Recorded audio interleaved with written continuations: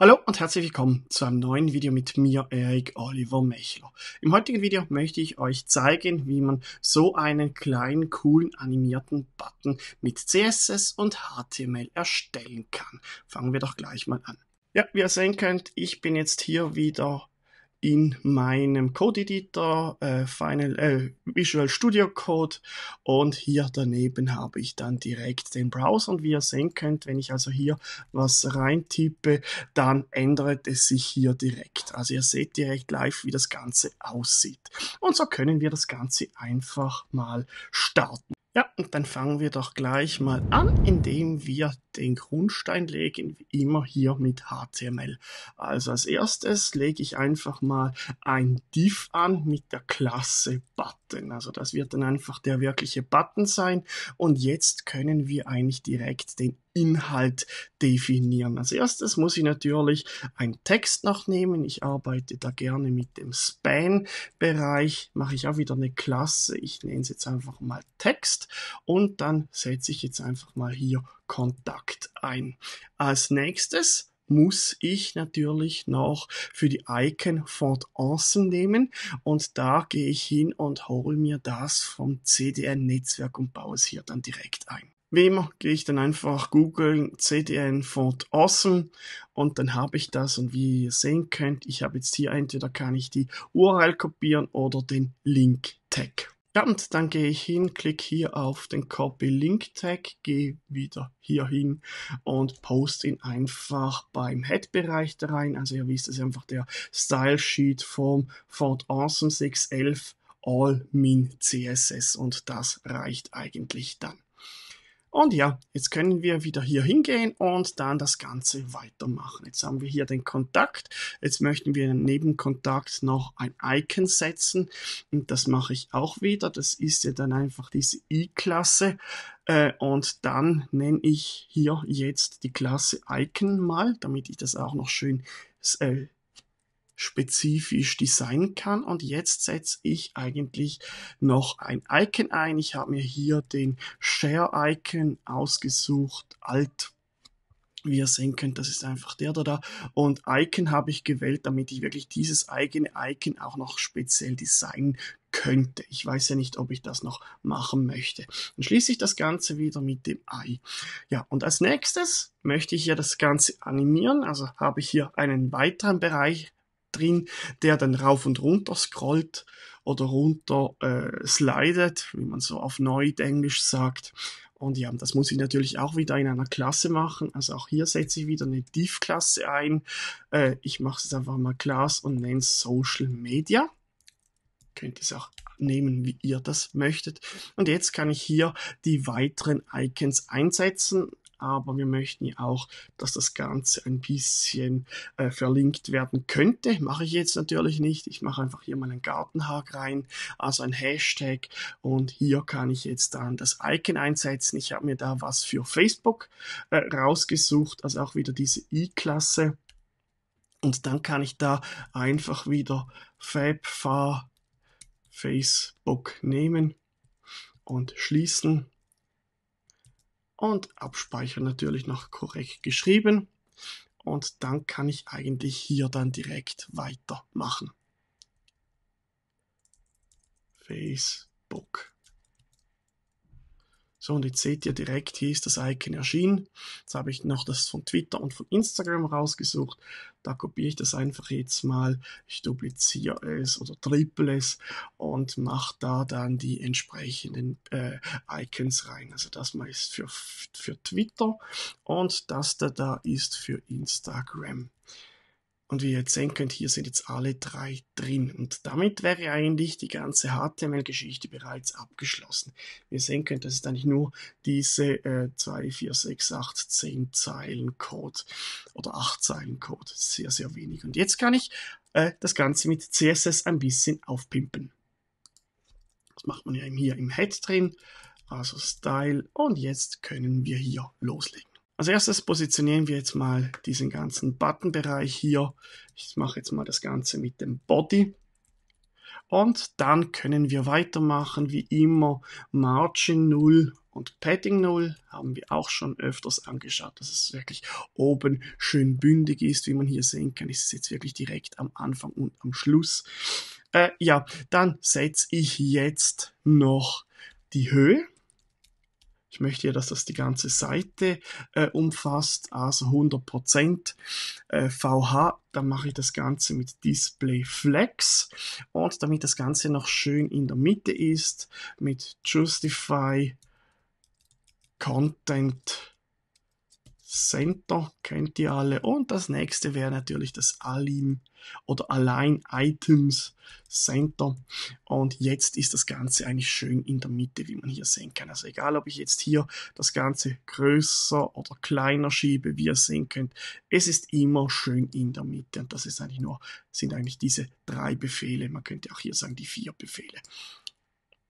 Ja, und dann machen wir doch kurz mal noch ein Background rein. Ich mache jetzt einfach mal Background Color und dann setze ich da mal was ein, einfach eine Farbe, damit man es ein bisschen schöner hat. Lassen wir jetzt mal so. Als nächstes können wir eigentlich das Ganze mit dem Button anfangen. Also wir haben jetzt hier die Klasse Button. Und jetzt können wir hier eigentlich das Ganze ein bisschen stylen. Jetzt mache ich das Ganze noch schön mit diesem Farbverlauf drin. Also mache ich wieder Background. Dann habe ich hier die Linear Gradient, das kennt ihr alle. Hier als erstes muss ich die, ähm, die, äh, den Winkel des Farbverlaufs eingeben. Ich mache es jetzt einfach mal mit 30 Grad Degr oder Deck, Degree, Englisch. Und jetzt kann ich hier die zweite Farbe oder die erste Farbe nehmen. Hier habe ich mir diese Farbe ausgewählt und als nächstes die zweite Farbe und die wäre bei mir 00D4FF. Wie man jetzt sehen kann, kann man fast nichts mehr lesen. Also fangen wir oder gehen wir weiter. Als nächstes machen wir die Schriftfarbe, die machen wir jetzt einfach mal weiß, damit man wirklich alles erkennt, kann man dann immer noch das Ganze schön anpassen. Dann deaktiviere ich jetzt mal alle Ränder, die es gibt und jetzt mache ich den Abstand zwischen Zeichen, also Buchstaben und Icon zum Rand und das ist der Padding und hier habe ich mir das Ganze mal mit 16 Pixel zu 40 Pixel ausgesucht. Wie ihr sehen könnt, jetzt ist es ein bisschen größer. Und als nächstes mache ich die Schriftgröße, Font Size. Hier habe ich mir 16 Pixel ausgesucht, ihr seht. Da sieht man noch nicht wirklich was, aber das kommt dann noch. Da mache ich natürlich noch einen Cursor rein, also den Cursor, der sich verändert, wenn ich mit der Maus darüber gehe. Und das mache ich ganz normal mit dem Cursor-Befehl und dann mache ich ein Pointer daraus. Also wenn ich jetzt da drüber gehe, seht ihr, das Händchen, der Pointer ist da. Seht ihr jetzt sehr schön. Ja, und als nächstes fangen wir das Ganze an mit Position und dann ist es nicht Inherit, sondern relativ. Da mache ich das Ganze noch ein bisschen rundler, also Border, Radius und da setze ich jetzt einfach mal so 40 Pixel ein. Und jetzt seht ihr, so ein ovaler Dingsbums. Und als nächstes müssen wir dann nur noch eigentlich das Ganze schön mieten, äh, die Icons verschieben und so weiter und so fort. Und das können wir auch jetzt gleich machen. Also da haben wir jetzt hier das Social Media Teil, setze ich jetzt auch einfach mal rein. Punkt, Social Media und so. Und als nächstes mache ich da Position absolut, damit es natürlich immer schön passend angepasst wird.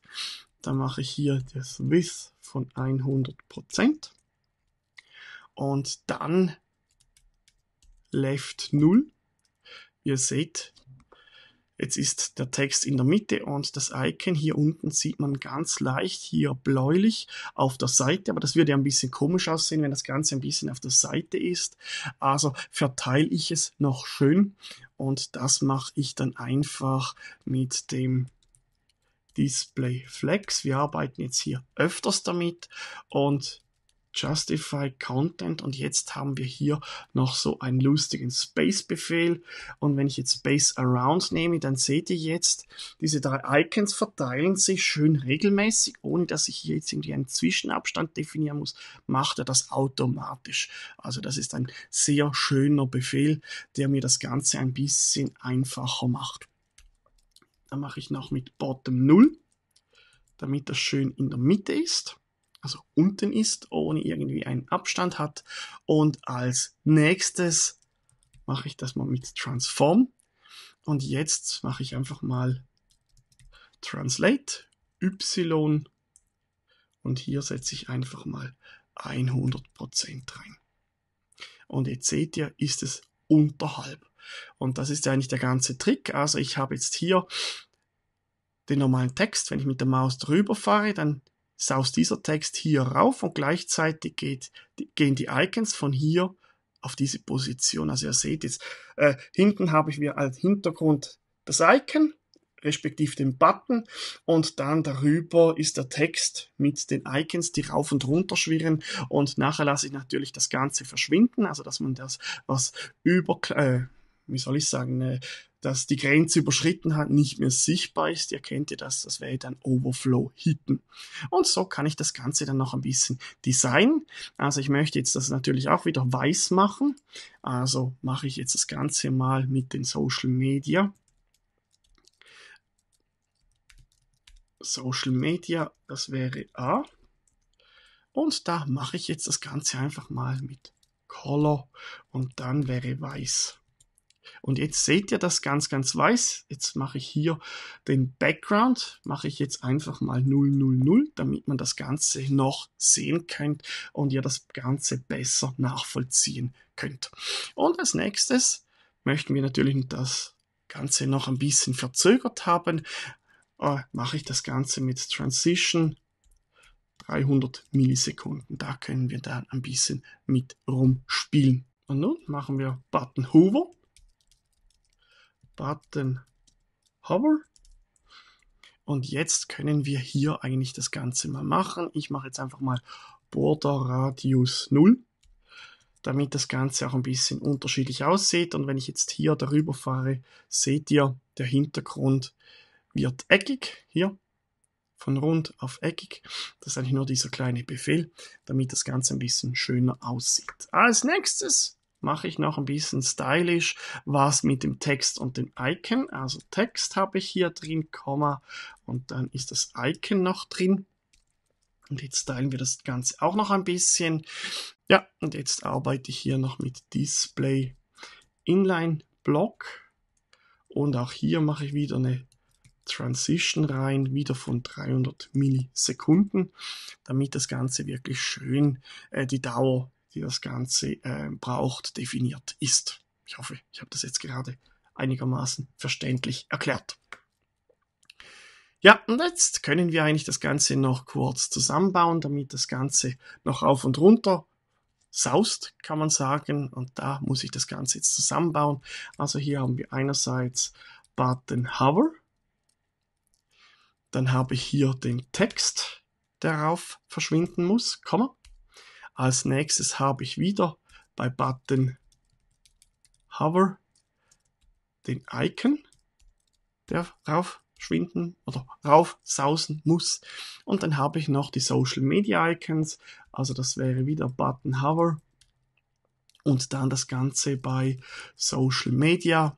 Ah, und jetzt können wir hier eigentlich das Ganze hochziehen und das mache ich mit Transform und dann mache ich hier Translate Y und jetzt müsst ihr ein bisschen rumspielen. Ich mache das mit 35 Pixel, habe ich herausgefunden. Und wenn ich das Ganze ausprobiere, dann seht ihr jetzt, jetzt geht es hoch und runter. Ja, und jetzt können wir das Ganze eigentlich noch kurz verschwinden lassen, damit das Ganze wirklich noch schön aussieht. Also das gehe ich wieder hier hoch und jetzt muss ich das Ganze suchen. Ja, wo muss ich das definieren, dass das Ganze verschwindet? Und ja, da sind wir hier beim Button. Das ist ja die Hauptebene oder die sichtbare Ebene. Und da müssen wir dann hier noch kurz ein Overflow Hidden einbauen. Und jetzt seht ihr, ist es verschwunden. Wenn ich mit der Maus drüber fahre, dann saust es hoch. Und jetzt wäre das Ganze eigentlich schon fast fertig. Jetzt können wir das Ganze noch ein bisschen schöner designen. Ich habe jetzt hier nochmal was genommen. Also ich kann jetzt hier noch kurz äh, die Opacity ändern und die Farben dieses Icons hier. Ich darüber gehe, könnten wir auch noch ein bisschen äh, Design. Also mache ich das Ganze wieder mit Social Media. Das wäre H Hover. Also was passiert, wenn ich mit der Maus über diesen Icon fahre? Das wäre Social Media. Das ist ja der Bereich hier für alle drei Icons. Uh, Hover. Und dann kann ich das Ganze ein bisschen designen. Jetzt könnten wir einfach mal mit Color arbeiten und das Ganze mal was ganz Extremes machen, zum Beispiel Rot. Dann seht ihr das Ganze also wenn ich darüber fahre, ist es sehr extrem. Ich könnte natürlich auch noch kurz mit der Opacity ein bisschen arbeiten. Äh, 0.7. Ihr wisst, 1 ist 100% sichtbar und 0 ist 100% unsichtbar. Und wenn ich jetzt hier drüber gehe, ja, dann seht ihr, ist das Rot nicht mehr ganz so extrem. Ja, und so sieht eigentlich der Button dann fix fertig aus. Und ja, da könnt ihr anpassen, wie ihr möchtet. Wie gesagt, je nachdem, ob ihr noch eine andere Schriftart nehmt als jetzt die Standardschrift, äh, könnt ihr natürlich oder müsst ihr dann das Ganze auch ein bisschen anpassen. Und zwar hier ihr seht es, wenn ich jetzt hier natürlich nur, ähm, sagen wir, 60 einbaue oder 65 und wenn ich jetzt darüber gehe, ja, dann habt ihr gesehen, der Icon verschwindet zu weit oben. Wenn ich aber nur, sagen wir, 15 mache, und darüber, dann seht ihr, dann passiert das gar nichts und jetzt muss man ein bisschen auspassen und ein bisschen rumspielen, bis das Ganze stimmt. Also bei 30 sieht das bei mir so aus, aber man sieht hier oben noch ganz leicht den Text. Ja, da habe ich bei mir jetzt festgestellt, dass 35 am besten funktioniert. Also, nochmal kurze Repetition. Zuerst einfach normal Hintergrund definieren, dann den Button definieren. Hier Background. Ich habe jetzt das mit dem äh, äh, Farbverlauf genommen. Äh, ich habe hier die Schriftfarbe drin, äh, die Breite, den Abstand von oben, unten, links, rechts. Also das wäre 16 oben, 16 unten und 40, 40 Pixel Breite. Äh, die Schriftgröße kann ich anpassen, Cursor äh, und so weiter. Und dann habe ich hier eigentlich direkt dann ähm, Social Media Icon definiert und so weiter und so fort. Ja, wie ihr seht, es braucht eigentlich gar nicht mal so viel, um aus einem langweiligen Button wirklich einen Button zu machen, den man wirklich drei Funktionen verstecken kann. Kann man zum Beispiel für Kontaktbutton machen, für Social Media Button, damit eure Community weiß, wo ihr zu finden seid. Also hier gibt es wirklich viele, viele Möglichkeiten, wie ihr das Ganze einsetzen könnt. Ja, wenn du noch eine Frage hast, dann stell sie mir noch unten in die Kommentare. Wie immer, ich versuche alle Kommentare zu beantworten. Gebt mein Video einen Daumen hoch, wenn es euch gefallen hat. Vergesst nicht, meinen Kanal zu abonnieren. Und ja, dann sehen wir uns beim nächsten Video. Tschüss, zusammen, macht's gut.